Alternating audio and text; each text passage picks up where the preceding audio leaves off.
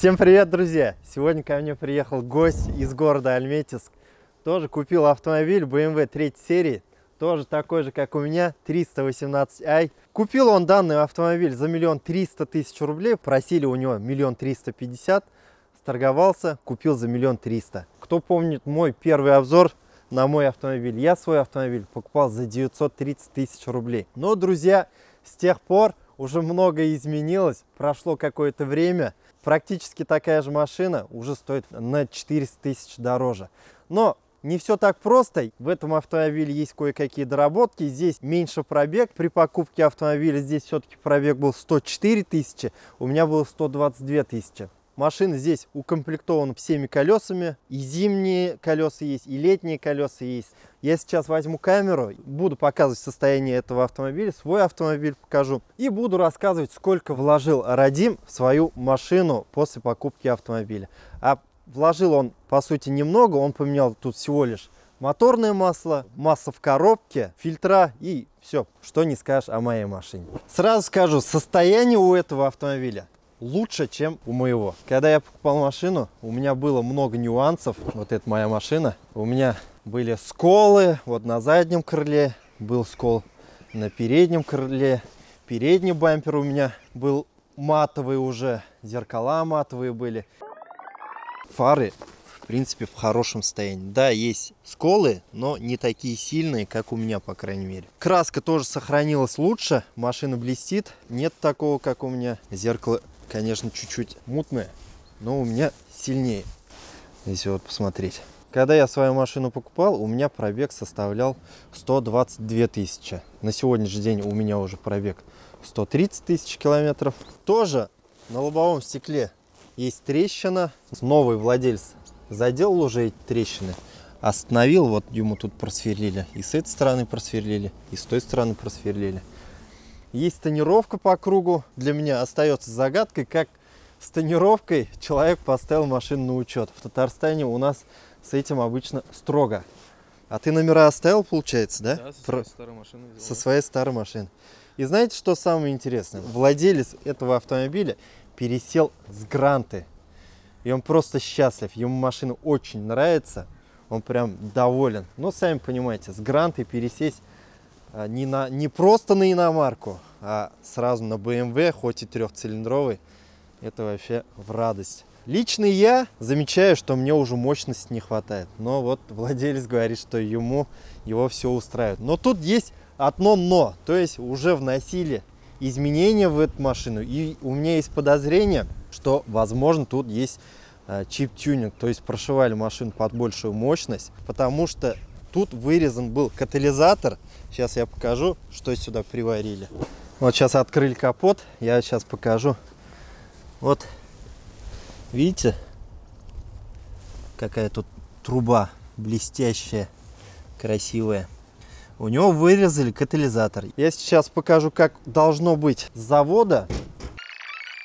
А это уже моя машина. Вот можете посмотреть, как на самом деле должен выглядеть тут катализатор. Вот видите, банка побольше тут. Вот я уж называю так, банкой. Подкапотное пространство, конечно, у меня грязнее. Я мыл один раз только, как купил машину.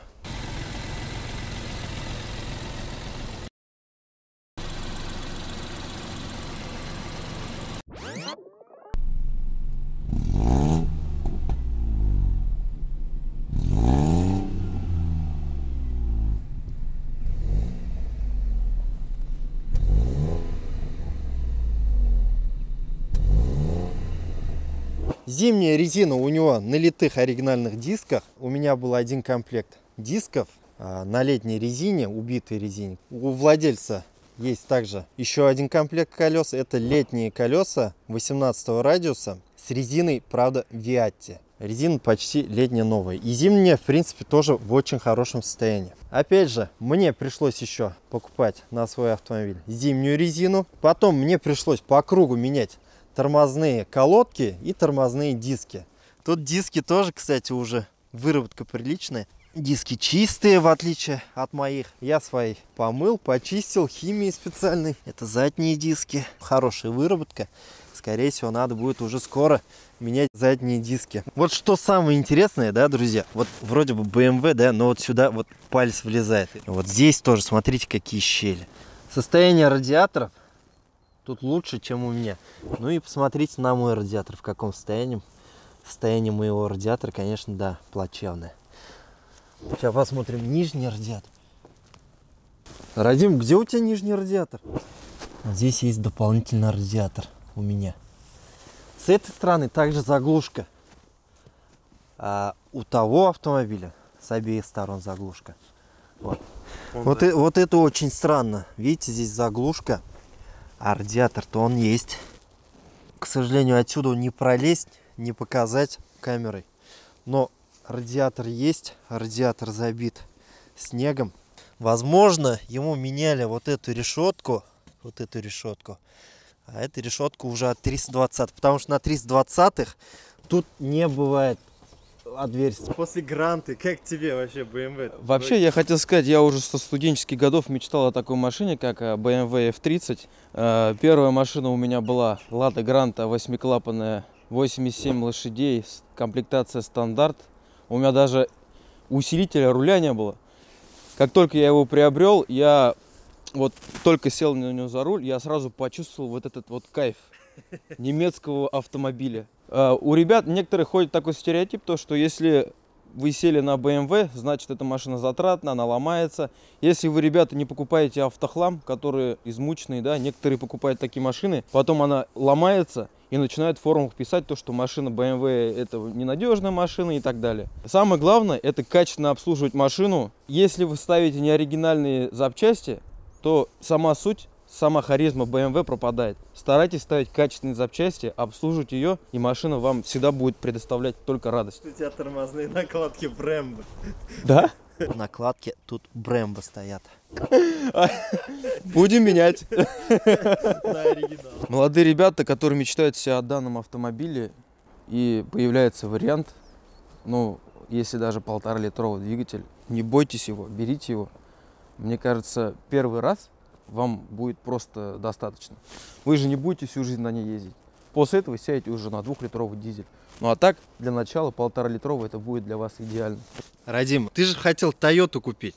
Расскажи, почему ты купил все-таки BMW, а не Toyota? Я искал три месяца машину, я голову ломал, я вот, я хочу себе BMW, посмотрел миллион обзоров, как, которые есть на YouTube, в основном 320, 328. И э, натыкался на такие комментарии, то что зачем она нужна, там, ну, опять же, есть такие люди, которые вот не владеют данным автомобилем, высказывают свое мнение. Э, у меня уже желание, как бы сказать, пропало, я уже не хочу, у меня, ну, как-то вот бывает такое. Я начал смотреть, мне говорят друзья, знакомые друзья, они говорят, бери Тойоту, она надежная, она классная машина. Я начал искать сороковку, пятидесятку. Проходит время, у меня опять перегораю, опять нахожу какой-то отзыв там или объявление, там, не знаю, ну, как, сколько людей, столько и мнений. Потом я искал Оптиму, хотел Оптиму взять где-то в пределах полтора миллиона, но опять же смотрю, они таксисты. Почему ты все-таки купил вот трехцилиндровую машину, тем более BMW? Получилось так, это получилось спонтанно. Я, мне предложили данный вариант. Полетел туда, э, взял сразу с собой специалиста своего знакомого, очень хорошего.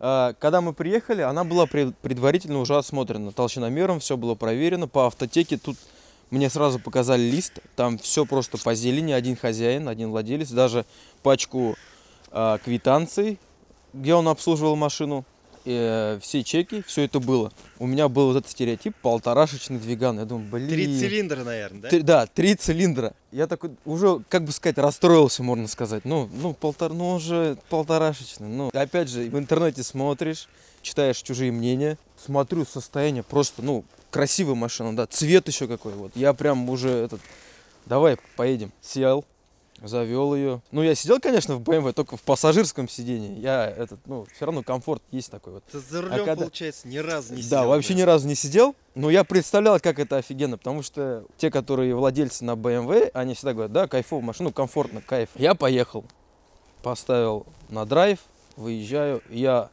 в этот момент, э, я понял в тот момент, что я ее заберу, вот прям вот реально То вот. есть ты, ты, получается, машину все-таки купил на эмоции, да? Да, я ее взял на эмоциях, но я думаю, я не пожалею об этом. А, изначально стоимость этого автомобиля э, стоимость была миллион триста пятьдесят тысяч. Почему миллион триста пятьдесят тысяч?